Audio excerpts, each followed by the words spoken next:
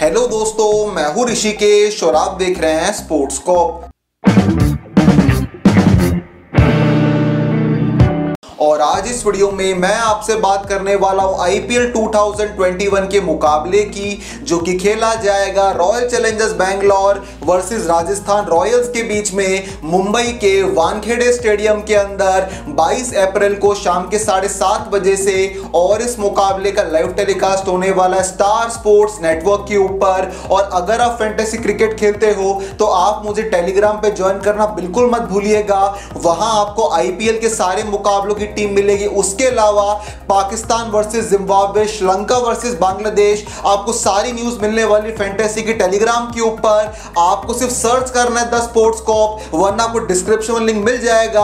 आप जल्दी से मेरे को ज्वाइन कर लीजिए टेलीग्राम के ऊपर और इस मुकाबले की फैंटेसी टीम आप बना सकते हो फ़ैन टू प्ले के ऊपर, जहाँ पे आपको बहुत सारे बेनिफिट मिलने वाले हैं। सबसे पहले आपको आईपीएल के सारे मुकाबलों के अंदर फ्री एंट्री मिलेगी फ़ैन टू प्ले के ऊपर। दूसरी बात, आप यहाँ पे दो, तीन या चार प्लेयर से चैलेंज फैंटेसी खेल सकते हो और पैसा कमा सकते हो। ये फीचर कहीं भी अवेलेबल नहीं होने वाला।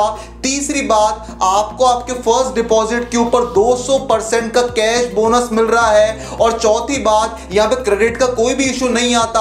आप सारे प्लेयर्स को टीम में रख सकते हो। तो किस बात का वेट कर रहे हो? आपको डिस्क्रिप्शन में लिंक मिल जाएगा। आपको रेफर कोड दिख रहा होगा स्क्रीन के ऊपर। इसको डालने से आपको फ्री में बोनस कैश भी मिल जाएगा। तो रजिस्टर करते हुए लेफ़्ट ऑप्शन में आपके पास ऑप्शन आएगा साइनअप कोड का। वहाँ डाल के रजिस्टर कर लीजिए। सबसे पहले मैं बात करता हूँ वानखेड़े की पिच रिपोर्ट के बारे में। तो वानखेड़े में बैटिंग करना काफ़ी अच्छा होने वाला है। बाउंड्रीज काफ़ी छोटी है, मैदान काफ़ी ज़बरदस्त है बल्लेबाजी के लिए। और ड्यू फैक्टर की वजह से टीमें टॉस जीत के पहले गेंदबाजी करना चाहेगी इस मुकाबले के अंदर। सबसे पहले मैं आपसे बात करता हूँ रॉयल चैलेंजर्स बैंगलोर के बारे में, जो कि अपने तीन में से तीन मुकाबले जीत चुकी है।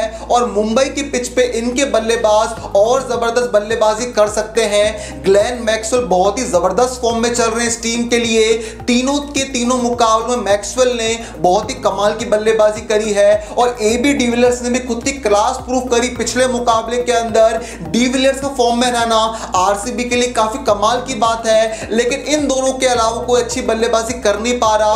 विराट कोहली का फॉर्म काफ़ी खराब चल रहा है। उम्मीद करते हैं कि वानखेड़े के मैदान पे अच्छी बल्लेबाजी करेंगे और देवदत्त पाडिकल से उम्मीद होने वाली है।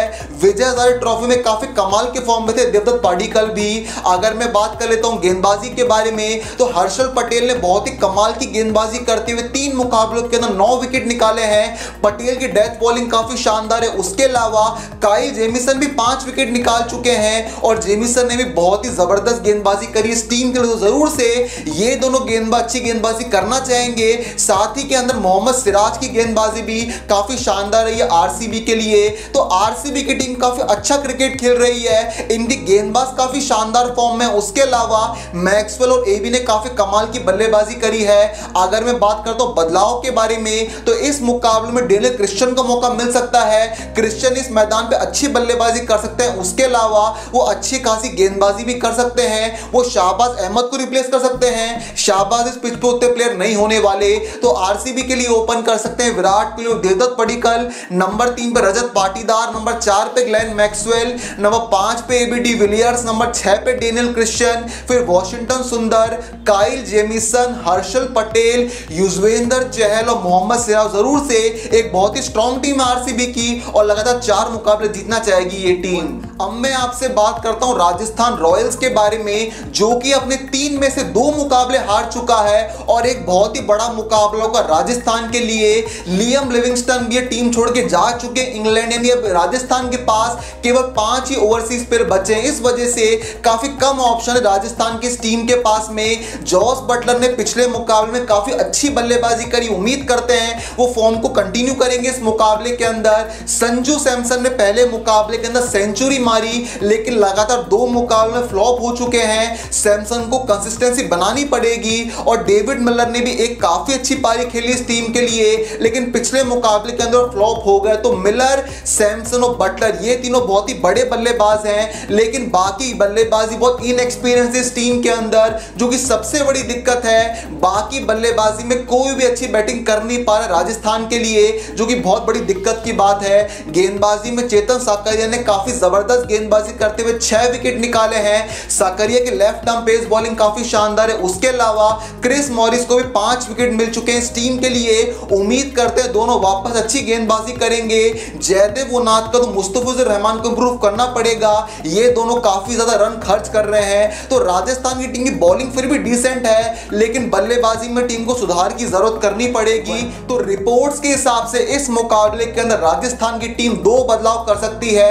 मिडल ऑर्डर के अंदर महिपाल लोमरो को मौका मिल सकता है। वो सैयद मुश्ताक अली में भी काफ़ी शानदार खेले थे और यशस्वी जायसवाल को इस मुकाबले के अंदर ओपन करने का मौका मिल सकता है मनन वोरा की जगह पे। तो राजस्थान के लिए ओपन कर सकते हैं Jos Buttler Yashasvi Jaiswal, number तीन पे संजू सैमसन, नंबर चार पे डेविड मिलर, नंबर पाँच पे महिपाल लोमरो और नंबर छह पे रियान पराग, नंबर सात पे राहुल तेवतिया फिर क्रिस मॉरिस, जयदेव उनादकर, मुस्तफुजुर रहमान और चेतन साकर, ये टीम होती राजस्थान के इस मुकाबले के लिए आप कमेंट करके बताओ मुकाबला कौन जीतेगा। वो टीम होगी राजस्थान, वो टीम होगी बैंगलोर, बताओ मुझे कमेंट करके। और इस मुकाबले की फैंटेसी टीम आने वाली के ऊपर।